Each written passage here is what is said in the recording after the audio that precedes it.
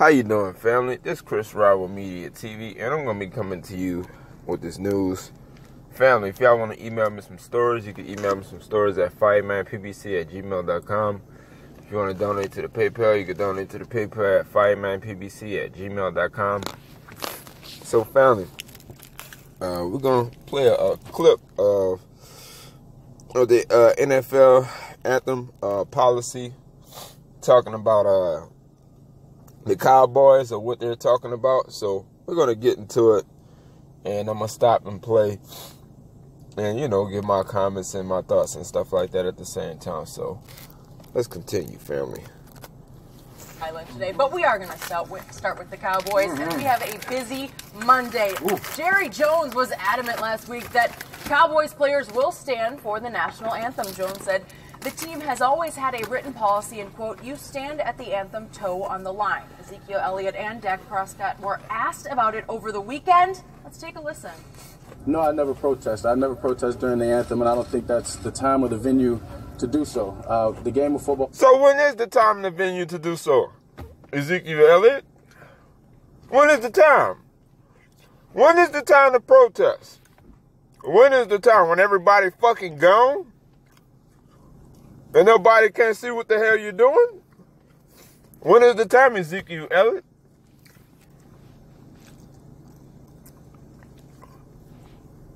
Oh, he wanted to be the time when everybody at their fucking house. You know what I'm saying? He want to be the time when everybody's sleeping shit. He don't want to be disrupting the game. That's when it's the time to protest. It's never a bad time because you're trying to bring uh, attention and awareness to the problem. To what you're protesting.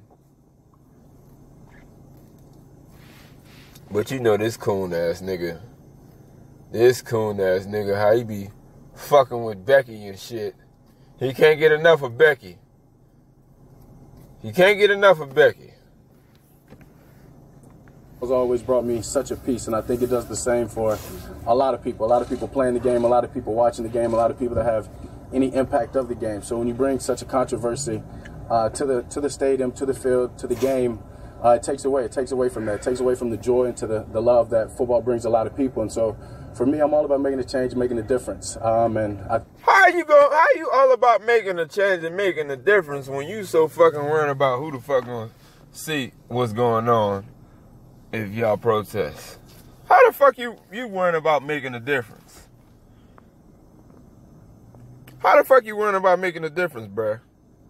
Because you're not worrying about making no difference. You're worrying about, oh, Jerry Jones. Jerry Jones said we got. I, I got to stand up, master. I got to stand up because I got to give my monies. I was got to give my money. Master said, stand up at attention on the line.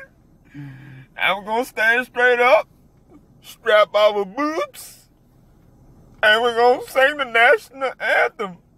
I got it. I got it, master. Coon ass, man. Talking about gonna bring bring awareness and bring a difference. Come on, man. You ain't bringing change to nothing. All you doing is bending over backwards, bending over backwards for Jerry Jones to tell y'all what the fuck y'all gonna do. Y'all grown men, bruh. Grown motherfucking men.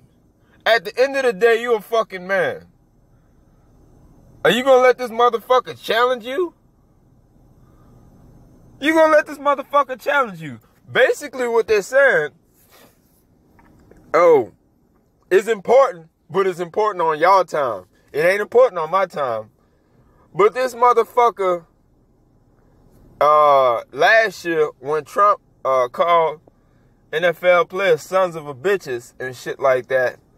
Oh, and Jerry wanna come out here and do that PR stunt and kneel before the anthem and then get up and then stand for the anthem. Man, get the fuck out of here with that bullshit. Ain't nobody falling for it. I already knew it was a PR stunt, man. I already know it's a PR stunt.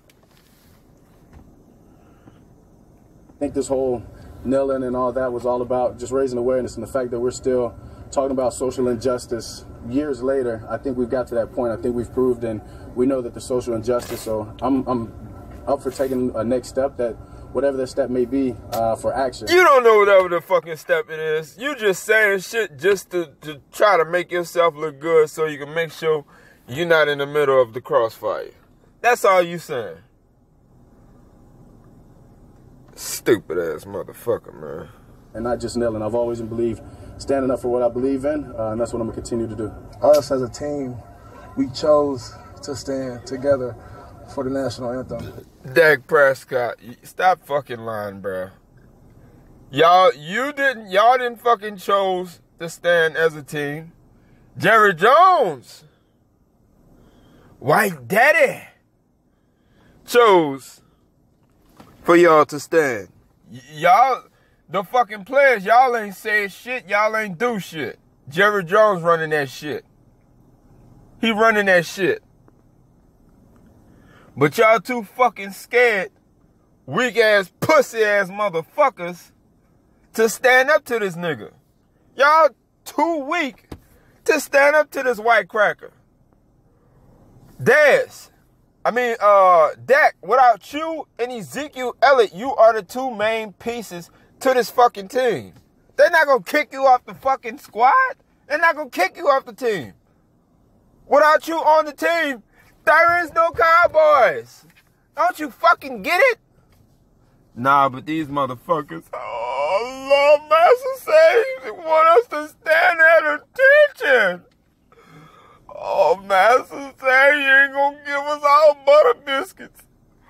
Oh, Master he gonna make sure he give us some new clothes and some good money and he gonna make sure he take care of us. Man, all the fucking cooning, man. All the cooning. What if that was your what if that was your son or your daughter or your family member that got shot by the racist white cop? What would you would have said? What you would have done, bruh? Would you be saying this? Would you be saying the shit that you're saying now? All this cooning, bruh? Come on, man. We got to keep it 100, bruh. All this cooning you doing, that shit is not worth the fucking money. It ain't worth it. Nigga don't, these cops don't give a fuck how much money you got. As a matter of fact, they hate you even more because you got more money than them. And they white. You feel what I'm saying? So at the end of the day, they don't give a fuck how much money you got. You still can get shot by these racist cop motherfuckers. Come on, man. Wake the fuck up, bruh. And uh, it was our decision, and I think it just shows our culture. It shows that, you know, that um, we have we have unity. We're gonna stand as one. That's not knocking anyone else who may choose to kneel during the national anthem, but we're the Dallas Football Cowboys, America's team. We stand for the national anthem. Mm. Well, Shannon, after hearing those comments, do you mm. have a problem with what you heard? Motherfuckers ain't standing. They, they gonna stand. They gonna stand. They gonna stand though. But family, y'all let me know what y'all think about this, cause these two coon ass niggas, man. Two coon ass niggas, bro. Coon. You hear me? I'm talking about coon lottery. Like it, it's just the buffoonery and the coonery. These niggas, man, I don't know, bro. I don't know. But family, y'all let me know what y'all think about this. Y'all leave me a comment down below. Subscribe to the channel, smash the like button. And oh, uh, subscribe to my new channel, my live stream channel, Chris Rob Media TV live stream. And I'll put it on the link down below. And family, I'm out. I'll be back with another one.